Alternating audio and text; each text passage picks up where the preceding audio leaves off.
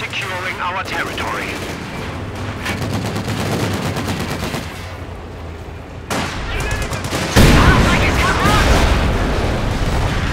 The enemy is inflicting losses upon us.